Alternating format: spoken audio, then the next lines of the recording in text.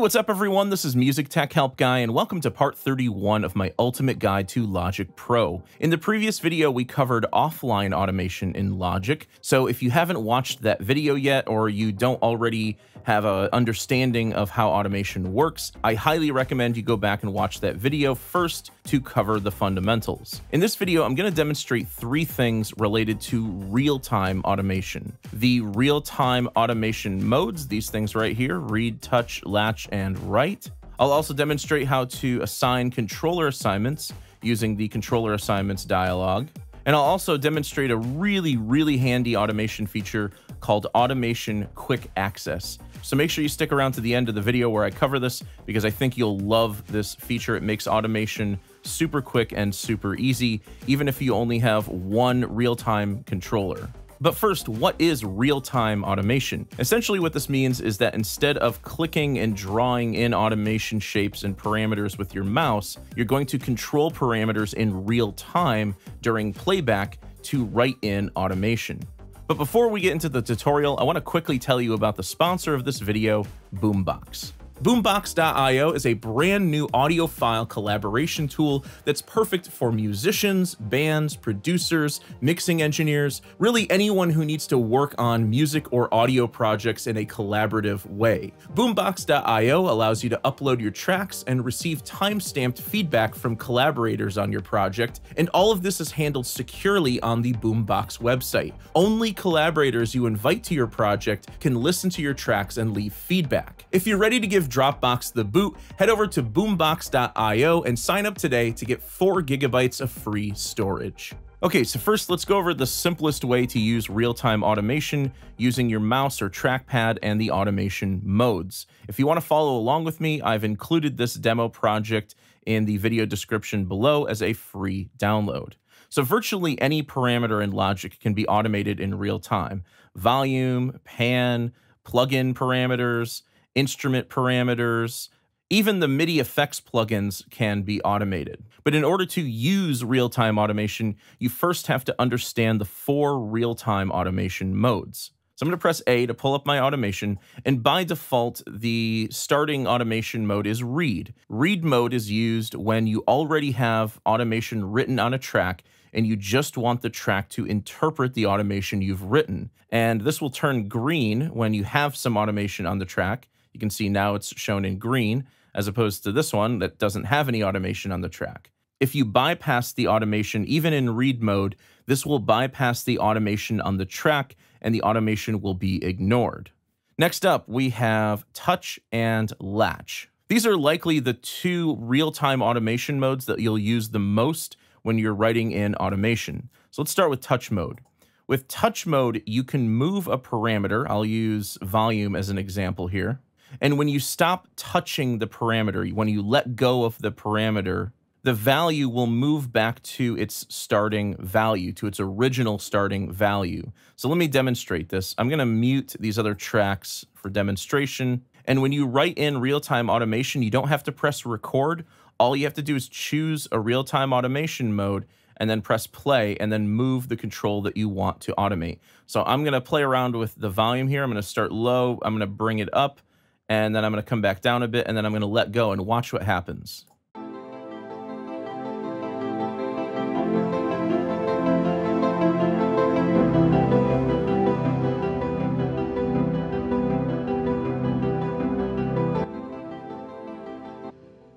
Okay, so what happened there?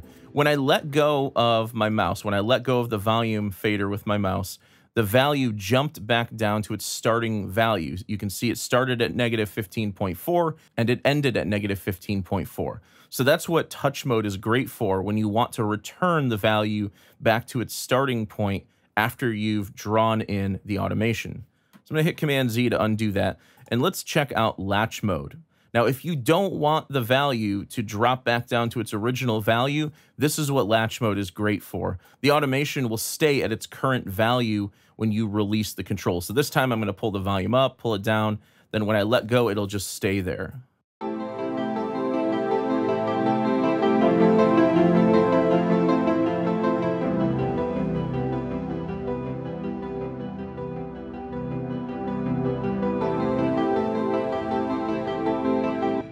And you can see after I let go of the control, the automation stays at the current value. It does not return to its starting value. Now let's say I want to write in some pan automation. I'll click here. Let's make sure that pan is shown.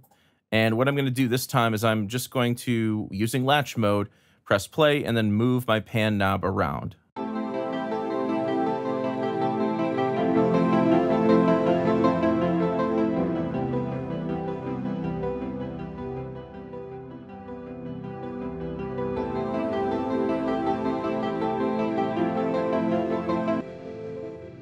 Now, when you're done writing in automation, it's very, very important that you change the automation mode back to read, because if you have this on touch or latch still, you might accidentally move a parameter and overwrite the automation that's there. So anytime you're done writing in automation, make sure you go back to read mode. Lastly, let's talk about this write mode. So when you select write mode, the first time you select it, you'll get this warning and it says write mode erases multiple parameters in one go without touching anything. In most cases, it's better to use latch or touch. So that's exactly what it does. It overwrites all automation parameters on the track even if you're not controlling anything. So for example, if I started over here somewhere and if I just press play, watch what happens. It completely overwrites all of the parameters that are on that track. And also notice that after you use write mode, it jumps back to touch mode as a safety. So write mode can be used if you want to write in new automation on maybe one or multiple parameters, and you just want all of the other automation to be overwritten. That's what you can use write mode for. So I'm going to go ahead and just move the volume knob around again.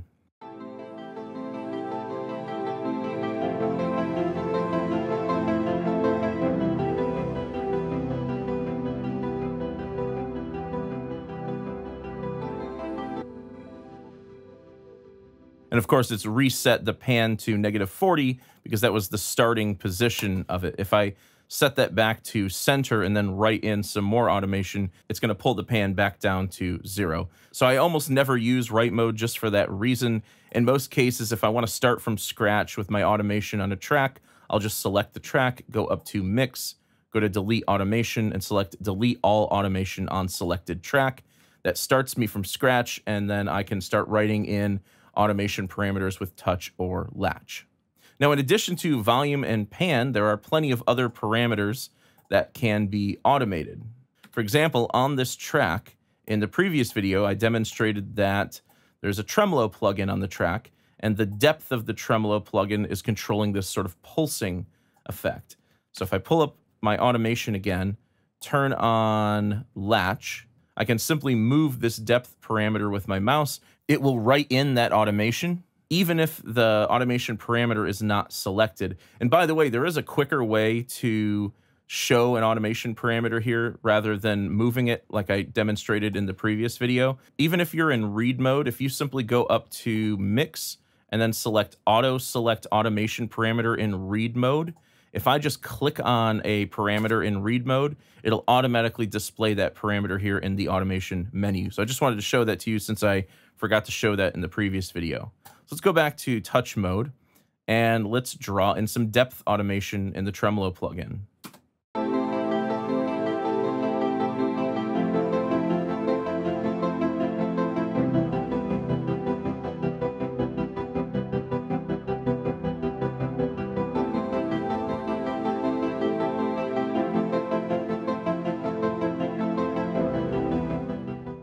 Using real-time automation, you can get some curves and shapes that are more human, are more tactile in nature, and you can create some really interesting sound design on some of these tracks by having more tactile control over your automation parameters. Okay, so I'm going to switch this back to read mode because I'm done with that track. Next up, let's talk about using real-time automation with controller assignments. Controller assignments allow you to take knobs and faders on MIDI controllers and assign them to parameters within your Logic project.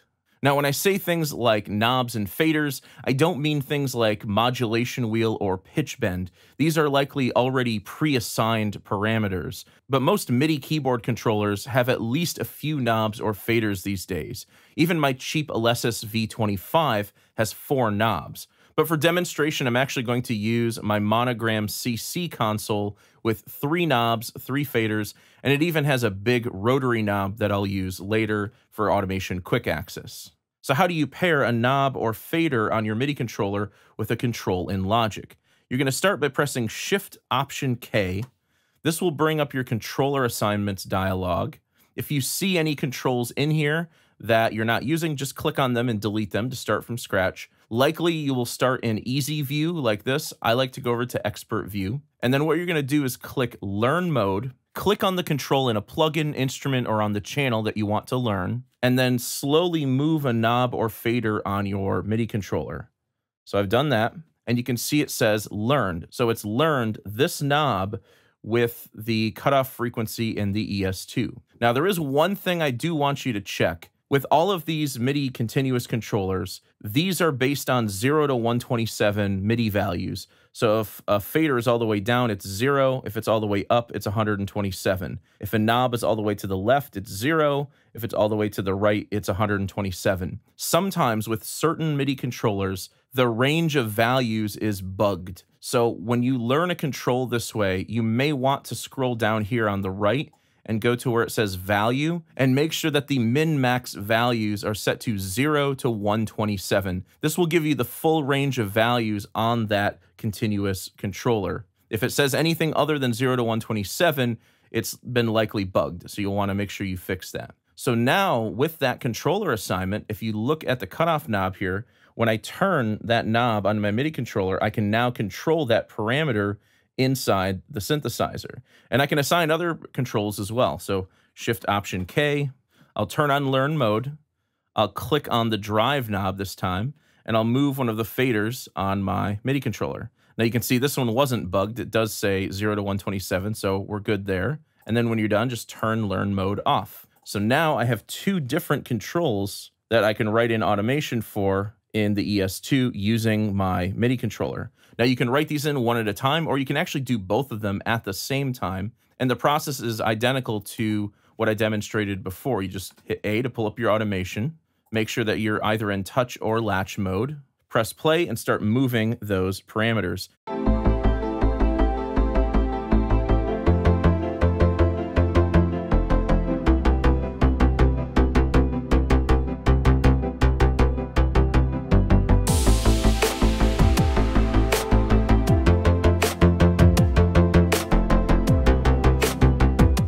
And again, like I said, you can do these one at a time or you can do them together like I did. I just wanted to show you that it is possible to write in multiple automation parameters simultaneously. And if you click here, you'll be able to go and select that other automation parameter and you can see both of them at the same time. Again, just make sure that after you're done, you switch this back over to read mode and now all of this automation on that track will be interpreted. Now, if using the controller assignments window seems like way too much work.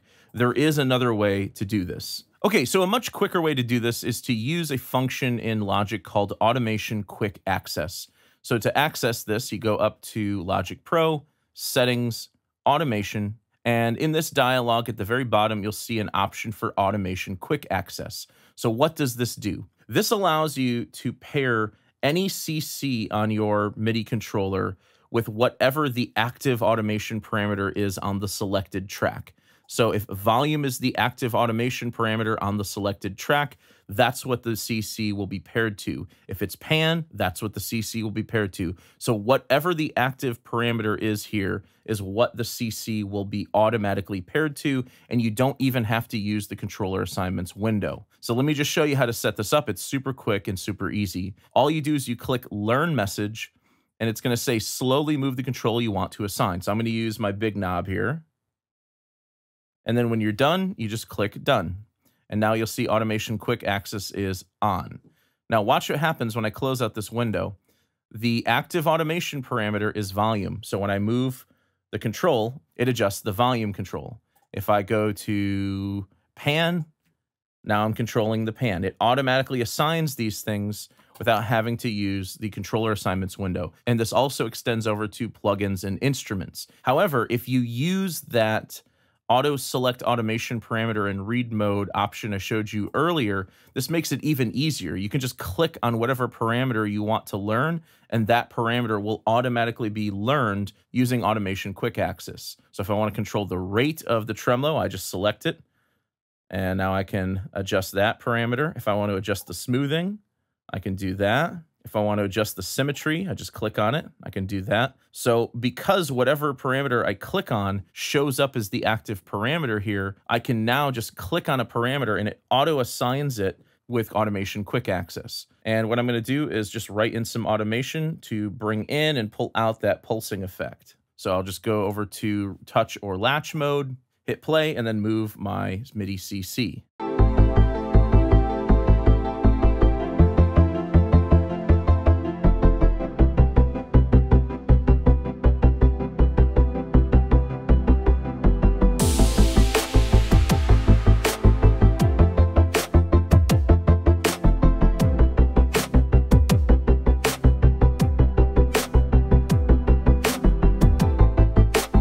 Create some really interesting and tactile sound design. So I hope you guys enjoyed this overview of real-time automation using the controller assignments window along with automation quick access. If you did, please leave it a thumbs up and subscribe to the channel to see more content like this. As always, thank you so much for the support and thanks for watching.